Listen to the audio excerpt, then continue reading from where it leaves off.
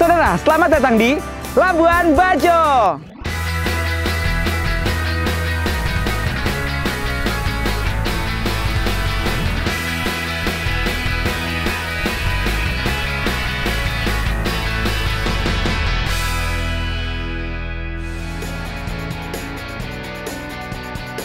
Saudara, gue lagi seneng banget nih. Karena selama gue ikut kru Indonesia dari Metro TV, keliling Indonesia dari Sabang sampai ke Raja Ampat, akhirnya gue sampai juga di salah satu tempat paling indah di Indonesia. Seperti Sorong yang merupakan gerbang menuju Raja Ampat, sekarang gue sedang berada di Labuan Bajo, sebuah kota pelabuhan yang ada di Flores Barat yang merupakan gerbang menuju Kepulauan Komodo. Kepulauan Komodo menjadi bagian penting dari pariwisata Indonesia karena sejak tahun 2012 Taman Nasional Komodo menjadi salah satu New Seven Wonders of Nature atau tujuh keajaiban alami dunia yang baru. Di atas lautnya banyak sekali kepulauan yang bisa disinggahi para pengembara alam.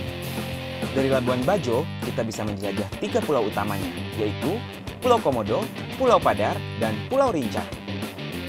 Dan kalau kita lihat kekayaan faunanya, Jelas sekali kenapa kepulauan ini disebut keajaiban alam. Ribuan spesies ikan dan ratusan taman karang ada tersebar di bawah lautnya.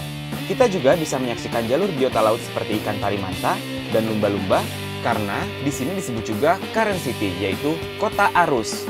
Sehingga banyak sekali biota laut yang melewati pulau-pulau ini.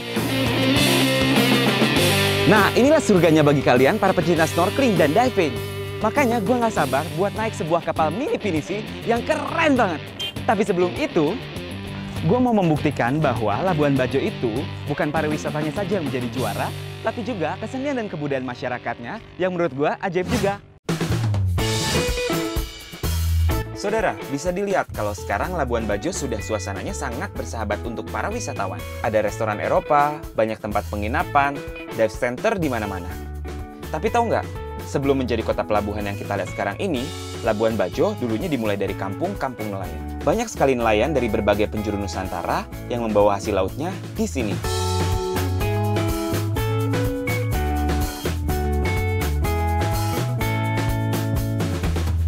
Saudara, pertemuan antara masyarakat inilah yang akhirnya bisa membuat sebuah ruang kesenian yang baru. Seperti di tempat di mana gue berada sekarang, yaitu Lontard Gallery. Ruang seni ini mewadahi pergerakan dan pusat wacana seni rupa di Labuan Bajo. Labuan Bajo menjadi pusat pergerakan utama karena Labuan Bajo menjadi pintu wisata Manggarai Barat atau Pulau Flores secara umum. Lontard Gallery juga sebagai ruang belajar bagi muda-mudi Labuan Bajo sebagai pemberontakan kreativitas dalam memperkuat eksistensi mereka. Dengan tujuan mengangkat eksistensi seni Labuan Bajo, baik dalam skala lokal maupun nasional, bisa menjadi gerakan perubahan bagi kalangan muda yang dimulai dari kampung. Satu kalimat kuncinya adalah satu kota akan menjadi besar apabila kita keluar dari pemikiran biasa. Dan hari ini kita ditemani oleh Mart Sakeus.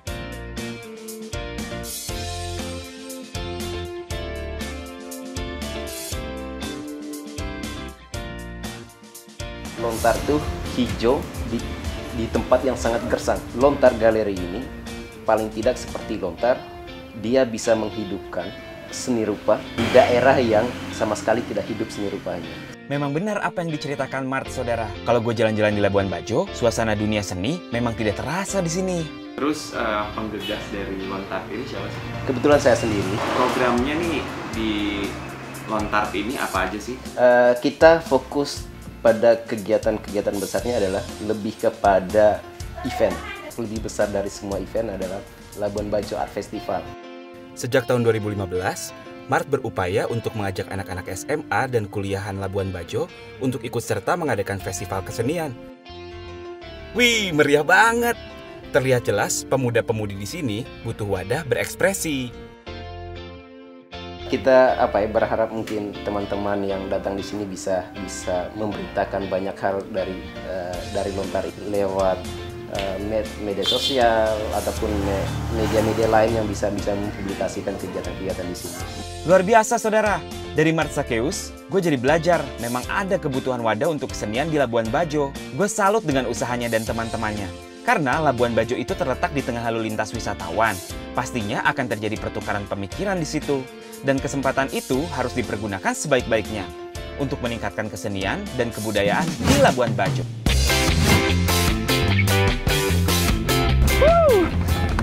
Nggak lengkap rasanya kalau kita ke Kepulauan Komodo, tapi nggak mengarungi lautannya, saudara! Ini kok kayak kapiten sih, suka berlayar ya, Mas? Ya, Suka berlayar. banget. Dan hari ini, tim Indonesia dari Metro TV bertemu dengan anak-anak muda yang berhasil memadukan kesenian, semangat menjelajah, dan sebuah misi sosial. Itu semua dikemas dalam bentuk sebuah kapal mini pinisi yang bernama Laba Laba Boat. Kenapa sih namanya laba-laba? Laba-laba itu ada kata laba, laba. Dua ini maksud kita adalah keuntungan baik dunia maupun akhirat. Oh. Karena apa? Karena di dalam sini kita juga punya misi sosial. Itu betul, saudara. Pada awalnya, Shiva bersama teman-temannya dalam kelompok Baraka Nusantara ingin membuat rumah belajar Sankabira di Desa Sembalun, Pulau Lombok. Selain itu, mereka juga ingin membantu pendidikan anak-anak kampung Komodo di Pulau Komodo. Untuk membiayai kegiatan sosial itu, Shiva dengan rekannya membuat laba-laba boat di Tanjung Bira, Sulawesi Selatan. Sebagian penghasilan usaha pariwisata disisihkan untuk pendidikan saudara. Nih, rumah belajarnya aja udah jadi sekarang. Kalau kita lihat untuk perkapalan ini masih didominasi sama kapal-kapal besar yang mayoritas punya asing lah ya. Jadi kita juga pengen berkontribusi juga untuk kapal yang yang yang membawa nuansa Indonesia. Uh, tapi yang punya juga orang Indonesia. mau ngomong bernuansa Indonesia, dari tadi tuh yang paling saya menarik sekali sih. Layarnya itu tenun loh, Zaman nenek-nenek moyang ya. itu uh, nelayan-nelayan di Flores itu menggunakan tenun untuk layar mereka. Wow, that's new. Kita pengen tetap membudayakan membudayakan tenun, Tenun. terutama karena kita juga ada di Flores kan. Mhm. Jadi masa kita di sini tidak menggunakan tenunnya mereka. gitu. Terima kasih Shiva untuk waktunya. Mudah-mudahan kapal ini selalu bisa membuat kontribusi buat rumah belajar yang ada di Sembalun dan juga di Kampung Komodo. Dan makanya lo kalau misalkan mau living on board ke Pulau Komodo, jangan lupa untuk naik laba-laba boat supaya bisa berkontribusi juga. Terima kasih Shiva. Laba-laba boat ini berhasil menjaring rasa haru gua saudara. Bayangin, usaha travel seperti ini punya dampak nyata bagi saudara-saudara di nusa-nusa lain. Saudara, kalau belum puas ngelihat keindahan dari Taman Nasional Komodo ini dan juga pengen tahu lebih dalam lagi tentang laba-laba boat, tonton aja Indonesia hanya di Metro TV. Seru kan? Abis ini gue mulai seni tari sekaligus bela diri yang membuat gue benar-benar tak berkutik karena nontonnya aja bikin tegang. Yuk!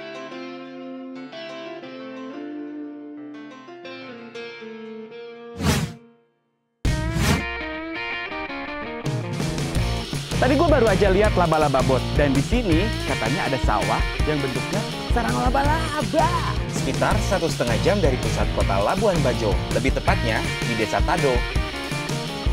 Kalau di daerah pantai, kita akan bertemu dengan banyak pendatang yang menetap di sana. Tapi kalau ke arah pegunungan, kita akan bertemu dengan orang asli Flores Barat, yaitu orang Manggarai. Dan masyarakat sini punya adat yang khas banget dalam membagi-bagi luas sawah mereka. Inilah yang dinamakan sawah lodok. Nenek moyang orang Manggarai itu membagi-bagikan tanah warisnya dengan pusatnya yang dinamakan lodok dan bagian-bagian tanah ini dinamakan lingko.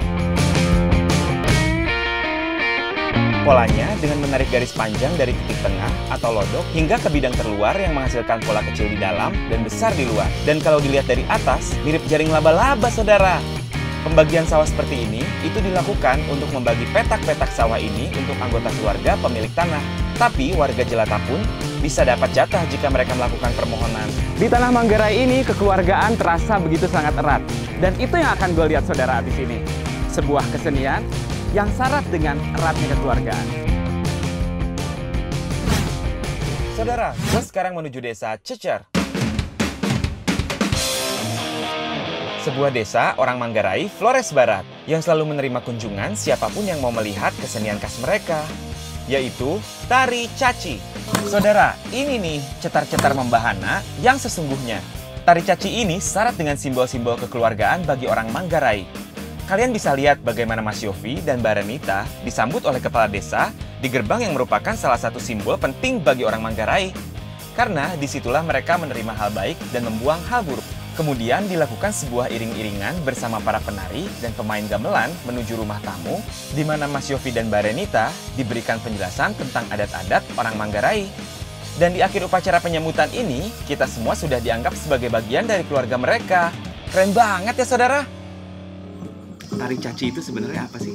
Tarian untuk memuji, menghormati pencipta dan leluhur dalam nada gembira. Oh. Kalau dilihat tetap kalau orang mau melihat nilai seni dari nilai dari tarian caci itu tetap ada tiga. Mhm. Yang pertama seni seliat.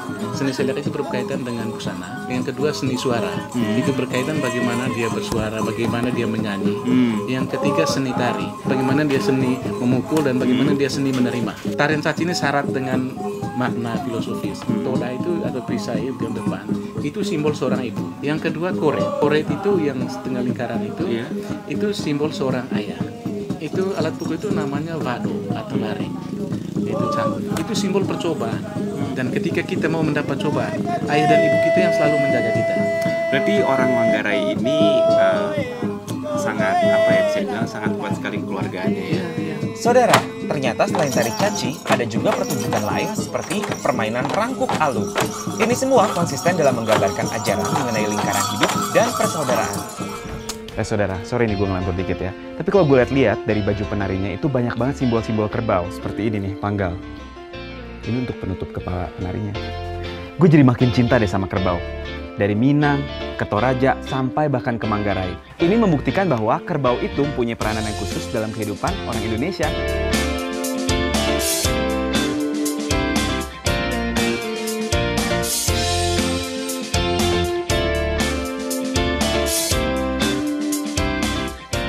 Sumpah, gue seneng banget saudara. Gue benar-benar merasakan semangat persaudaraan di Labuan Bajo. Dari seorang seniman yang membuat wadah untuk para pelaku seniman lainnya, terus ada usaha laba-laba bot yang berkarya untuk masyarakat di nusa-nusa lainnya, dan tentu saja sebuah tarian yang pada dasarnya merayakan ikatan persaudaraan itu sendiri. Nah, perjalanan seperti ini nih yang membuat jurnal gue menjadi semakin kaya, saudara. Kalau kalian mau baca petualangan gue di Labuan Bajo, ketik aja www.indonesiakaya.com. Supaya jadi apa? Supaya kalian semakin menjadi orang Indonesia kaya. Tahun baru gue kali ini sangat cetar dan membahana dalam arti yang sesungguhnya, saudara. Abis ini gue nggak sabar mau jalan ke mana lagi ya. Kalau kalian tahu, tulis komen di bawah ini ya. Oke?